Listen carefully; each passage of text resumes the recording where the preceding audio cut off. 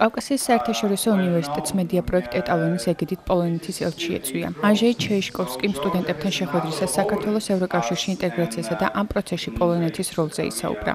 აუდიტორიის კითხვები საგანმანათლებლო და გაცვლით პროგრამებს, სტუდენტების დასაქმებასა და ამ კუთხით პოლონეთის გამოცდილებას შეეხებოდა. შემოგთავაზა რამოდენიმე ვარიანტი პოლონეთში წასვლისა და გაგვაცნო უნივერსიტეტები და ძალიან კმაყოფილი ვართ დღევანდელი დღით.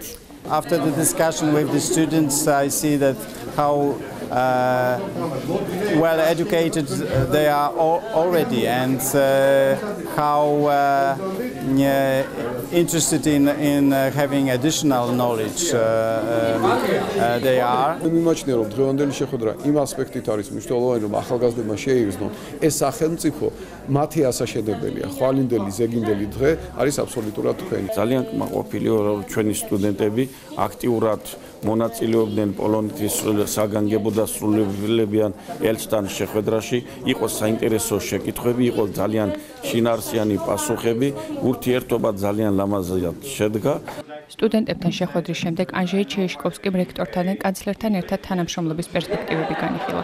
პოლონეთის ელჩმა უნივერსიტეტის ინფრასტრუქტურაც დაათვალიერა.